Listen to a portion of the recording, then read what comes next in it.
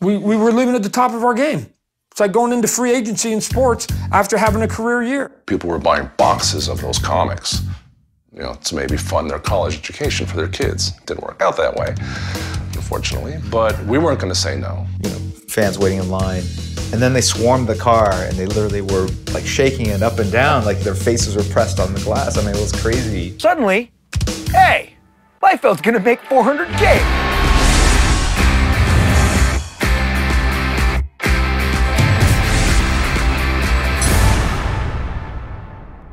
Marvel Entertainment fell three and a quarter today, closing at 49 and a half. The reason some people say is because of what you're about to see. Word got out that CNN was doing a story on a brain drain at Marvel Comics, and that hit the stock. Eight artists are jumping ship for a competitor. Some investors did the same. The Image Boys had now played their full hand. Seven of the top artists in comics quitting Marvel to launch a startup competitor. It sounded insane to a lot of people, but to the guys, not really. Well, the, the sexy story is it was all risk, right? It's like these guys went off, they did their own thing. It's like the reality is, even looking back in 2020, we could have gone back. Was there any apprehension into doing it? No. No. What's Marvel and DC going to do? No, we don't want to hire you again. They're never going to say that. They would never tell Todd, no, you can't draw Spider Man again, or Jim, no, you can't do X Men again, or me, you can't do X Men again. They'd take us back in a heartbeat. So, what was really the risk? There was none. If you really looked at it on paper, you said, like, well, what is the next thing to do? And, like, what's more audacious than this? This is very safe. The first official Image Comics meeting took place in February 1992 at Marc Silvestri's home. The first order of business locking down the core principle that would define Image. There were two rules at, at the very first meeting. The first rule was that Image Comics Incorporated would own nothing except the Image logo and the Image eye. That's it. That's all Image Comics Incorporated is allowed to own. The second one was that no partner would ever interfere with the other with any other partner in terms of their business. The founders created their own studios all under the Image banner to produce their comics. Jim Lee had Wildstorm, Liefeld had Extreme, McFarlane had Todd McFarlane Productions, Silvestri had Top Cow, Larsen Highbrow Entertainment, Valentino Shadowline. All the founders except one. Very early on, Whilce decided he did not want to, the full comic book, as you put it, comic book mogul Yeah. role. Is, is that what- is that what happened? There was a um, uh, uh, there was a tragedy in Wilson's immediate family, and um, as I recall, he was back in the Philippines for most of that first year, um, and uh, he did not want to. Uh, um, he, he did not want to join officially as a partner. The Image Invasion officially began on April 16, 1992, with Rob Liefeld's Youngblood. Its debut issue sold 1.5 million comics. June 4th, McFarlane's Spawn number one becomes the top selling indie comic ever, with 2 million copies. The hits kept on coming. Larsen's Savage Dragon, Lee's Wildcats, Valentino's Shadowhawk, and Silvestri's Cyberforce all sold more than 500,000 copies of their debut issues.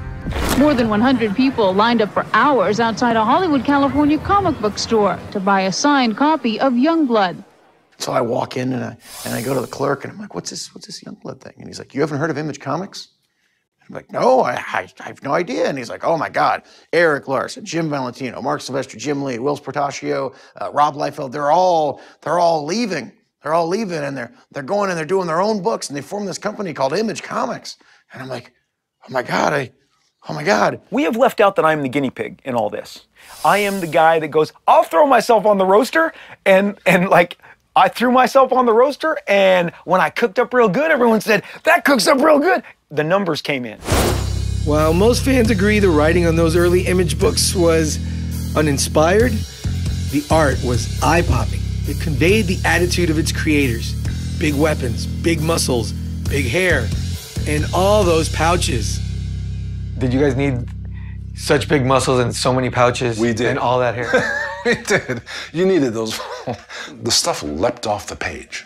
You know, when you turned the page, you weren't only reading a story, but it it came out. You know, off of a two-dimensional um, media. The image look would define early 90s comics, and fans couldn't get enough. This is out there, Youngblood. He's the man behind the nation's best-selling comic book, folks. Rob Liefeld. For a brief moment, comics commanded center stage in pop culture, and the Image Boys were the headliners.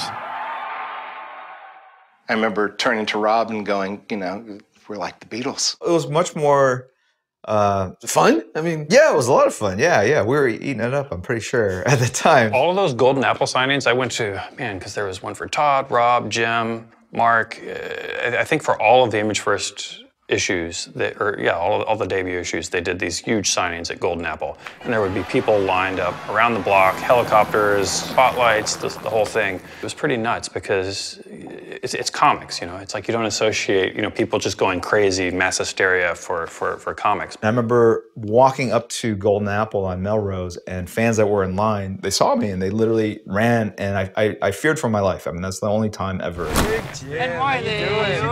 the Image founders were media savvy. They understood the value of a good publicity stunt. But their sights were set not just on the attention, but on Hollywood, movie and TV deals. Rob used to go out to Hollywood to meet with people. He, he was constantly doing meetings trying to get stuff set up for movies. He he went out to meet with Tom Cruise, and he was late. I get there, and the room. I'm with the screenwriter and his producing partner, and Tom gets up, says, "Follow me, follow me," and we go down like six mazes of hallways, and he gets in the. In, in, in the back room, and he proceeds to light me up about timeliness and being on time. And he said, The least you could have done was have called, called ahead and let us know that you're going to be late. And I'm like, I, I, I called your assistant twice. Like I was like, my phone was cracking, but on the inside, I'm like, this is rad. I mean, and then, and then the weird thing is, once he chewed me out, because he, I mean, you haven't lived until you've been like read the Riot Act by Tom Cruise. Then he stood up and he said, "All right, and now we're gonna go in there." And we're gonna make we're gonna make a great film, and it's gonna be a great day, and let's go. I have never seen a person more excited to tell everybody else how he had been chewed out by somebody. We were young and dumb. We, we were like, we, you know, Spielberg calls. We want to meet. He wants to meet in a dark alley at two o'clock in the morning. No problem. We're there. The timing was just impeccable. It was just the right place at the right time. If you look at the the market conditions and the influx of people that were kind of coming from the card trading card business, which had a huge spike in sales and and, and a tremendous boom and act- speculate, speculative uh, activity, they were looking for the what's the next big thing. And a lot of card shops are already carrying comics. Like let's branch out and do this. In the early 90s, there were only two comics publishers that mattered in terms of sales. Marvel and DC together owned almost 75% of the comics market. It took Image only four months to unseat DC as number two, something no other publisher has done since. So so think about it. You took you took seven artists who were raised and bred and trained to be artists. And we now jumped into a pool that had a portion of it, arguably half of it, was business.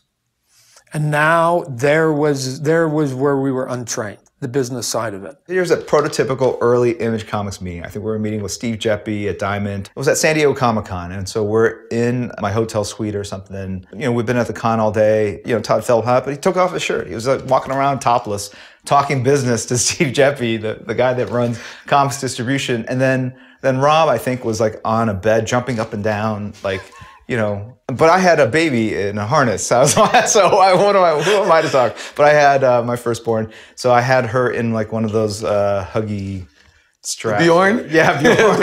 The 90s version of the Bjorn? and I'm walking in circles trying to keep her asleep. So yeah, I mean, what, you know, whatever, you know, tell all the stories you want. It was, it was uh, a nutty period.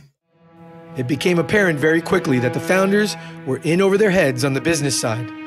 Missed deadlines started piling up, causing costly delays. But now you got to do a lot more than draw. And Yeah. right now you've got to know about marketing and distribution, and you Yeah. got to get money to start the company. Was that hard or was that oh fun? yeah, I mean we didn't Hard. know we, were gonna, we, we didn't know we were getting into it all. I was like, oh, I, I don't understand any of this. So. What we did when we first started was we ha- we skinned our knees severely at times, trying to understand what business meant in terms of printing, shipping, distribution, accounting, logistics, and then just at its core for the fans, just just having books come out on time. Just just the the the simple rhythm of having the books come out on time, on time, on time. And so what hurt our street cred after a while was the inconsistency. Comics veteran Larry Marder was hired as executive director in 1993 to manage the partners and keep the image train running on time. Poor Larry. I love Larry. I knew him before Image, and I felt bad for him. I was like, oh, dude. And I would, whenever we had lunch or something together, I just put my hand on his shoulder and, and just, you know what? I know I, I know nothing really happened today, but I'm just sorry. I'm just apologizing. We've all mentioned that Image Comics was sort of like a, if you had brothers, uh, this is what it was like. I never had a brother before, so I feel bad for all the people that actually do have brothers having had this experience. Dude, it was always competitive. I mean, it was always. One of my other partners, I will not say who, I love them dearly, said, This is my favorite meeting. Well, you know, when we get to Image, this whole pecking order is going to change. Marvel just like you three guys. Now you know who it isn't. Um, Marvel just like you three guys the most, which is why you sell as well as you do. But once we're all on our own, and then Todd leaned over to me as the guy left, and he goes, He's wrong. He's going to find out the hard way. And that competitiveness, I'm just speaking of that to the competitiveness of it. We were ruthlessly competitive. And that, and honestly, fandom benefited from it. Whatever happened at Image, the best things that happened out of Image, in my mind, came about because of the rivalry between the partners. New talent was recruited to expand Image's comics line. Lee lured legendary Watchmen writer Alan Moore back to superhero comics to do 1963, and later, a run on Wildcats for Lee's Wildstorm studio. The Image umbrella would soon provide safe haven for other creator owned books, including Dale Keown's Pitt and Sam Kieth's The Maxx, planting the seeds for the future look of Image. But there was growing tension between some of the founders. Image split into two different factions very early on.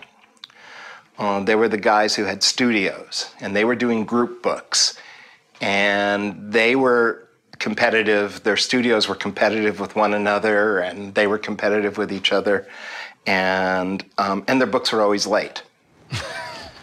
then there were three other guys who were doing solo characters, and they did not have big studios, and they did not have a bunch of uh, posses following them around and stuff like that.